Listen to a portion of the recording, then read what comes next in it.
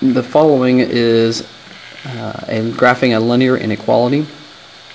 There are different ways to graph a linear inequality.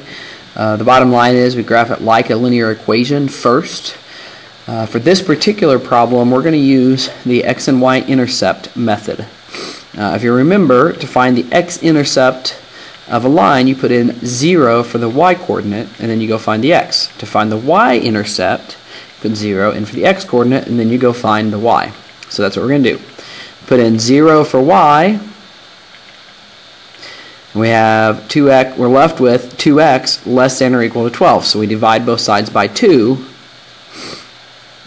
and you have x less than or equal to 6. So we put in 6 in for our x. We have one point, our y intercept, our x-intercept, which is 6 comma 0.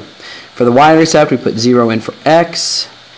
Uh, when we do this, you're going to see that 2 times 0 is going to be equal to 0.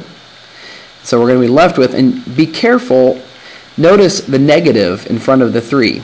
It's a negative 3y. So when you divide, you have to divide by negative 3.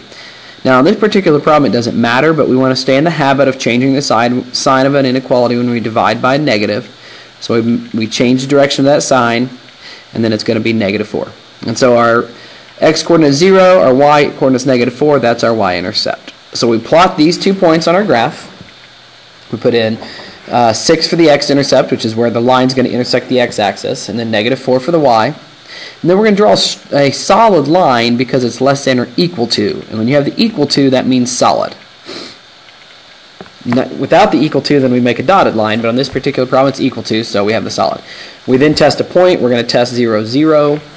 When we test 0, 0 into the uh, inequality, we put 0 in for x, 0 for y, which is going to leave us with 0 less than or equal to 12, which is a true statement.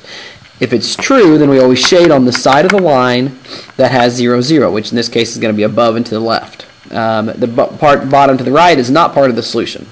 So our solution is all the points that are covered by the region that I am shading in, uh, they are all true because 0, 0 is also true.